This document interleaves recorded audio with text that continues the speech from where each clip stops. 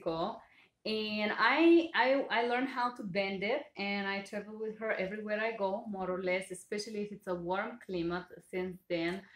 Uh, I've been using a lot of hats but I will tell you this is very light and very practical and today we're gonna talk about solo traveling in Mexico.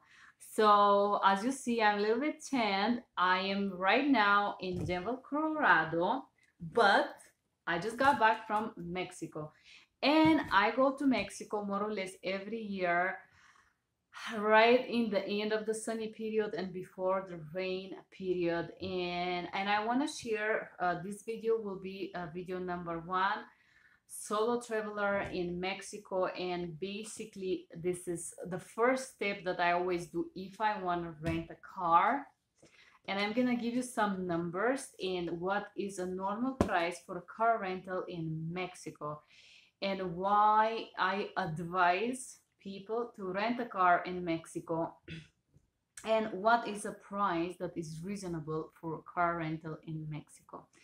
So I will tell you I've been traveling quite a lot, not only in Mexico but in Europe and this is gonna be a solo travel video blog about hacks, how to travel alone and I will share some hacks, how I travel alone as a female, blonde, you know how Mexican sees blondes and all that and how to travel safely no so I'm talking about car rental. A few years ago on my first trip first trip or one of my first trips in Mexico uh, again it was solo and as most of the people that want to travel to Mexico they want to make sure everything is organized and, and they try to book a car rental online from here no, no, and no. This is a big mistake, and now I will explain you why. So, when I rented a car few years ago from here and I purchased the car rental and the car insurance online, uh, the moment that I arrived in Mexico, I had a huge problem. And this is something that happened every time someone purchase a car rental on Booking, Expedia, it doesn't matter where you purchase it it's, it's always exactly the same experience. You get there you have already paid for your car and for your car insurance and instead when you arrive at the car rental they ask you additional money and they tell you it's for insurance. And most of the people doesn't know that they have already paid i personally paid separately from the car rental so i knew i had it and I showed the guy the document and and then it started to be this very stressful discussion um, uh, like arguing back and forward. They do not accept insurance that you purchase on this website. Actually to be honest with you on my last trip i will tell you that they are crazy avid for money and if you look all these series of solo traveler in Mexico, you're gonna see me crying after the next crazy experience of people stealing from you, lying to you, gaslighting you, and being dishonest with you because you're a solo traveler. But let's go back to the car rental. So the rule number one is do not rent it or purchase car rental with the insurance outside of Mexico because the moment that you arrive at the airport if it's cancun if it's mexico city it doesn't matter where is it they will ask you to pay insurance their own insurance. They will not allow you to drive a car out of the car rental if they don't like strap your skin with some money because they're like the car rental experience in mexico is traumatizing and I will explain you why and I will explain you how to be ready and what you need to know before you go there. So number one, as I said, don't rent it from here. Once you arrive at the airport, you're gonna see all these car rentals on the both side is like a windows and they're all trying to stop you and tell you I'm gonna give you a good car rental um, so I used to work in a car rental company called Budget in Mykonos like 17, 18 years ago when I was really young. I was living in this island in Greek called Mykonos. And I just had a very bad car accident. I was afraid to drive and for una buona sorte or no, as they say it, I started working there and I was I was really scared. But anyway, let's talk about the car rental. So normally they will give you a price. They let's say they would tell you I I ask you like hundred dollars a day. That would be just for the rent. And then they will tell you uh, extras, which they are kind of obligatory. It's the insurance. They will force you in Mexico to buy an insurance. The truth is that you are not obliged by law in any country to purchase insurance because on the price of the rental there is a basic insurance included. So the truth is that you don't have to purchase any additional insurance and for the car rental companies when you do purchase it you just give them free money. The reason why is because the car that you, you gonna take it have any kind of insurance before it's even put it for rent and if somebody mm, explode this car or throw it in the caribbean sea the guys the rental company let's say it's hertz or budget i used to work for budget they they're not losing anything. Nobody in this company will lose a dime. It's going to be the insurance company that have to cover the expense of this car to a certain amount which is the market value of the car. Let's be realistic okay? So when you start to walk in the Cancun airport, you're gonna see all these windows with people that will try to stop you. So what I, I did and I am advising you to do is to walk to each of these windows and ask them, I do speak some terrible Spanish, but they do understand me, and ask them how much you're gonna charge me for one week. Normally, this is the, the period of the time that I'm gonna rent a car for. So one week it's uh, it's a standard amount to rent a car seven days or 10 days. And honestly longer you rent the car cheaper the car should be per day. This is a rule in a, in a car rental. And if you're good at negotiating you should know these rules. If it's if it's up to between 7 and 10 days is the most expensive. When it's more than uh, it's 14 days is cheaper. If you want to rent it for entire month the price is gonna go even down per day. So the total amount will be a little bit higher but the amount per day should be less. So uh, i went around and i asked for different prices and i will tell you. Uh, the medium and the normal range to rent a car in one week period of time and i'm talking about economical car four seats I, I would always take the manual ones uh, because I prefer manual in Mexico because it's so hot and the automatic cars tend to have hard time there. Um, so anyway, I will take, let's talk about economic cars or normal cars that you can rent that are not so crazy. So the range of the normal price is between that will make the car rental company earn money and make you have a good deal, it's between 2,000 and 3,000 pesos. And I will tell you what this amount, this is including the rent and the full damage waiver. Okay. So I went around and asked most of the people, they don't want to even say it, they write it down and they give you this amount and some of them it's uh, to 2,100 pesos. Some of them they try to uh, to give you crazy prices. For example, National asked me 8,000 pesos for the most economical car. So if you don't know how much a car costs and you don't know the real value of a car rental, you could pay 10,000 pesos for economical car just because you have no idea of the real value of, the, of what you're renting.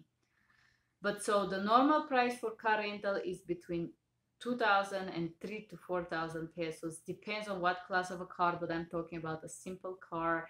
And if you want to have all type of insurance, and I don't know, some little extra on the top, right? So when you get a negotiation, they write it down on a ticket, which they give it to you at the airport, and then the bus takes you to the actual office, which is five minutes drive from the airport in Mexico. And I have a video that I'm gonna plug to this one uh, and, and once you get there, they write a contract. There is always a huge line. This year I rent from Hertz. The price that I paid was 1,500 pesos, which is equal to $75 for one week. This is a lot of money in Mexico. Have in mind that one monthly income salary is 1,200 pesos. So 1,500 pesos for one week car rental is a really good deal for them and is a really good deal for me. And this is called the standard of life differences. So you gotta take advantage of them when you travel. So once you get to the office, they did write a contract for me. And I, I shot a video. You can check this video.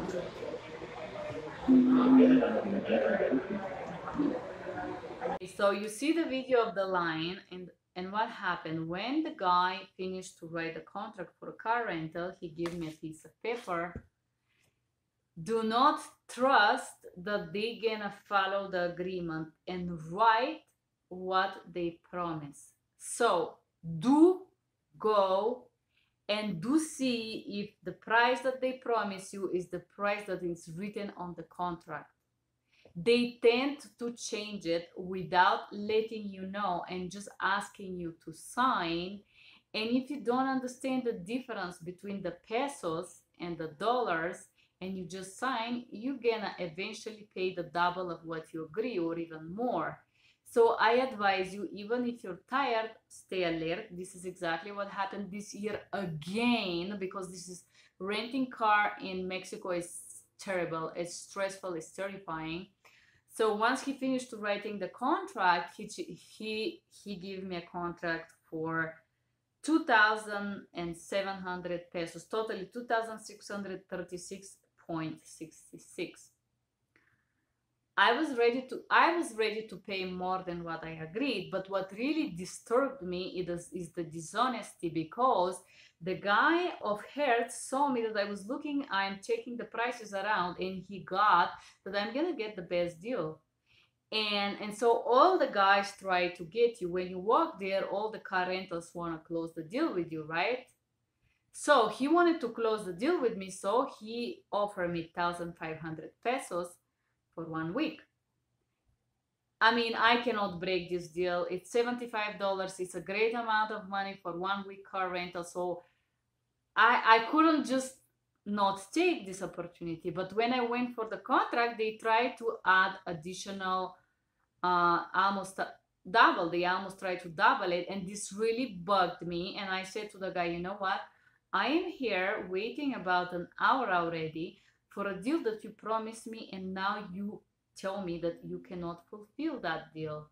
And if that's not the case, I'm ready to walk out and I will go the next door and without having all this headache, I'm just gonna get another car. So they don't like bad advertisement and he called the manager and the manager just type down sit down and and write the contract exactly the way they promised to me.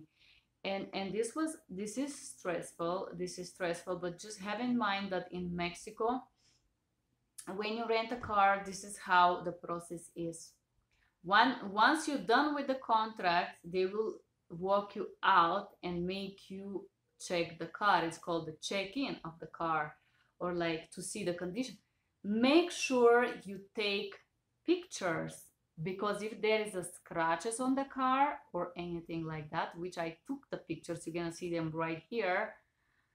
Once you return the car and if you did not take pictures of it they can attach it to you okay? So just be ready for any kind of crap i did take a picture the car had a, a very deep scratch on the bottom ramp on the side of the right side of the car and I I take even small scratches. I took picture of the whole outside and and the inside. They just want to make sure that everything is a little bit cleaner because they are crazy for money. I am gonna tell you they are crazy for money. Uh, the previous year I get dollar store budget. The years before I get national. When I went to the other side of Mexico, close to Tijuana, I rented. I I could I didn't find my driving license, so I used the cooperative as the bus. Either way just have in mind that you gotta take the pictures. Just make sure you take the pictures before you get the car and keep them on your phone in the worst case scenario because I'm gonna talk now about the checkout. Most of the time when you go to check out your car, if, if, if you didn't check what your contract say and you didn't see that it's a different charge, they will charge you differently, the, the way stipulated, not what they promise you. So when you sign the contract, they ask you to put 5,500 pesos guarantee. They just hold this amount on your card. They don't take the money, they just put hold there. The moment that you return the card, the car, they would actually charge you the stipulated on the contract, not what they told you they're gonna charge you, what they wrote down. And this is why it's so important to make sure you check what they say because they will try to add these additional services like a gas thousand pesos which is a lot of money for gas. And most of the time you cannot bring the car empty. There should be some gas in it to drive it through there. So they will make money out of you this way. And some additional things that you cannot even imagine what they are. So just have in mind that you don't have to purchase gas from them. You don't. It's not financially um, it's not for you good financial interest let's say that. And i know that a lot of solo travelers don't have so much money to invest in in these kind of things. So in order to do it cheap and safe uh, the insurance that i will advise you is called bumper to bumper. Bumper to bumper is mean from one to other bumper and this if scratch or something happened on the car. Full damage waiver cover the engine brake i don't know some assistant car assistance but the truth is that if the car broke in the middle of the jungle, you gotta sleep there. This is the truth. I will be honest with you guys because you will not have a phone service to call. So sadly, that there is places that there is no phone service and you gotta hope of a good destiny that somebody will save you and help you. Set that check out of the car. You drive, the checkout is pretty fast. I advise you to to tie the car a little bit up because if there is even one plastic bottle or something some of these car rental companies they don't want to take the car. They try to get some cash out of you propina propina and they're really nasty with that extremely nasty okay? So a few times i threatened them. I know this is not good thing to say but they have this organización del consumidor called PROFECO and i told one of the guys that if he doesn't take the car because it's clean i will call this organization and i am gonna report his name i took a picture of him and his tag and i'm gonna make him get fired the truth is that there is organization in Mexico for uh, protección de consumidor. It's protection of the consumers. And if you ever had somebody that take advantage of you as a consumer in this way, you can call and you can complain and they are gonna be afraid because they're gonna lose their license. So one time when I was returning the car, the, the person didn't want to accept it because there were two plastic bottles of water and there was a very little bit of a sand of my shoes. So I take the, the bottom thing and I clean it myself and I say, here you go. I took pictures of the car the way I return it in case they see that I did something to the car because you never know. I'm telling you, these people will do anything to steal money from you, okay? So make sure that you take pictures of the car when you drop it off as well. Because maybe when you go home they will try to charge you which already happened to me last year. So this is just the worst part of mexico. Renting car it's nightmare there and this is all you need to know about it. So when you check off the car they will give you a small piece of paper and they will send you to the checkout where is again line. Once you get there they this small list in my case said that there was a scratch on the right side of the bumper. I show him picture on my phone and I say here you go. You see the date of this picture? This is the time that I took the car. Uh, this scratch was already there. And and this was it. I, I drop it off. It was pretty smooth. Uh, compared to other car rental the Hertz bus driver that drive you from the car rental drop point to the airport itself it was very polite. They did not ask me for any cash and I was pleased to give them some tip you know. I give him 10 pesos which is not it's a good tip for mexico but it's not such a big deal. But if so, i remember the previous year the guy from dollar rent car which is called dollar rent car will uh, he wouldn't let me go to the airport. He wanted to drive me to the bank to take some cash to give it to him. So they're arrogant and they're aggressive. And you're gonna see the car that I rented. Thank you for being here and have a good day. Bye bye.